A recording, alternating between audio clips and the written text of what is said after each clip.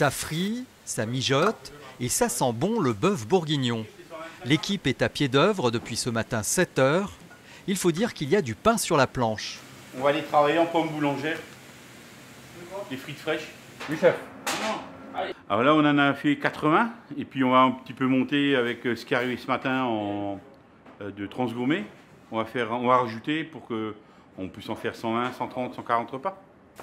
140 repas qui ne sont pas prévus pour la vente au magasin, mais pour être livrés bénévolement dans des squats de SDF à Strasbourg. Une idée qui a germé dans la tête de ce restaurateur. C'est un ami de Jean-Marc Keller, le charcutier. Notre activité étant fermée, ma marchandise, j'ai déjà distribué le lendemain de la fermeture. Donc euh, l'idée était de trouver quelqu'un qui nous donne des produits. Après, les cuisines sont vides, on a le temps, donc euh, voilà, le mettre au service des autres. Jean-Marc et son fils Victor ont tout de suite adhéré à l'idée. La, la cuisine, c'est du partage. C'est vraiment. Eux, ils ont fort pas grand chose, voire rien du tout. Et puis nous, euh, on va leur apporter peut-être de la joie quand ils vont manger. Et surtout, ça va être un grand moment de partage. Pour Jean-Marc, très impliqué dans la paroisse du village, cette initiative est en rapport avec sa foi. Dans la parole de Dieu, il écrit que j'ai eu faim et puis il m'a donné à manger. J'ai eu soif et puis il m'a donné à boire. Et j'étais nu puis il m'a vêtu. Et ça fait partie de, d'une manière aussi d'annoncer l'évangile, c'est de donner d'abord, d'abord à manger aux, aux plus pauvres, avant de leur. C'est une manière d'annoncer Dieu à travers un repas chaud. Pas besoin de grandes prières, de grandes théologies, mais un geste simple. Voilà. Merci beaucoup pour, Merci pour euh, l'initiative. Côté boutique, Manuela, l'épouse de Jean-Marc, s'est elle aussi beaucoup impliquée dans l'opération.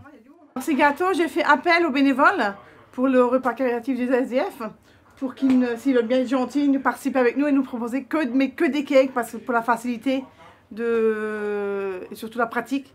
Et donc les gens, nous, c'est la réponse des gens, c'est des gâteaux qui viennent euh, couler à flot. Il y en a une bonne vingtaine déjà. Et ce n'est pas fini. Merci beaucoup pour eux, c'est bien sympathique et puis les gens sont bien, bien gentils. C'est surtout sur Facebook que les habitants du village ont eu vent de l'initiative. Le confinement, il est aussi compliqué pour tout le monde, donc euh, si on peut soutenir un peu euh, d'autres personnes, euh, on est là pour être euh, présent aussi. Il est 11h30, c'est le coup de feu. Tout est prêt. Direction Strasbourg. Je suis en train de redire euh, l'avis euh, de, de saint Alphonse de Ligorie. hein. Et, et ce qui est tr- très intéressant, c'est qu'avant, avant, ah bon, il était avant tout euh, avocat, mais avant d'aller à son étude, il, il allait laver des pauvres. Et il priait pour eux, quoi. Et, euh, et sincèrement, ça, ça me rejoint énormément de, de cette histoire de, de ce notable qui se fait euh, petit. Voilà.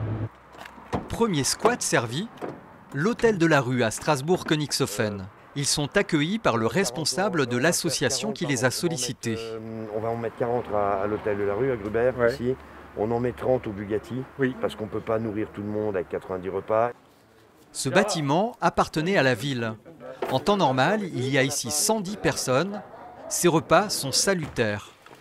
Je le remercie du fond du cœur parce que grâce à lui aujourd'hui, bah, ces 50 personnes vont pouvoir manger. Parce que nous, depuis le début, ce qu'on nous donne, c'est des repas froids. Vous pouvez voir, c'est beaucoup de croissants, beaucoup de pain, beaucoup de brioches.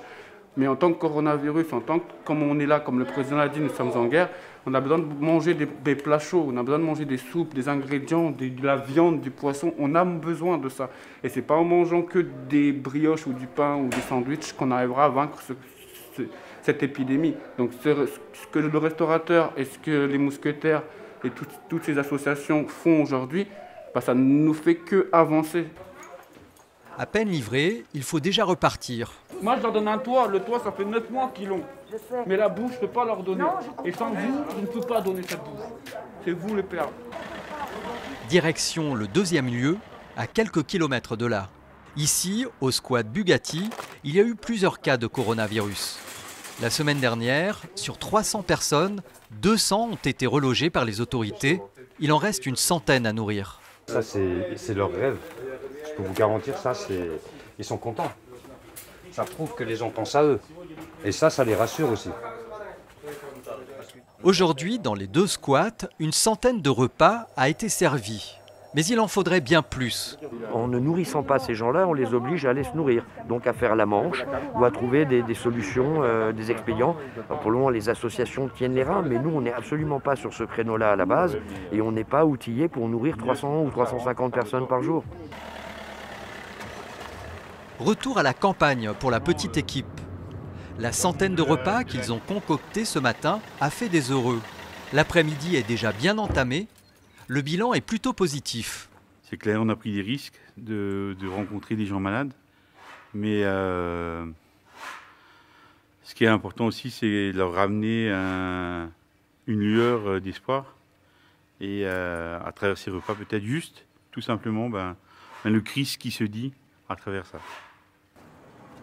Cet après-midi, il reste encore du travail pour garnir la boutique, mais Jean-Marc pense déjà à d'autres actions de solidarité.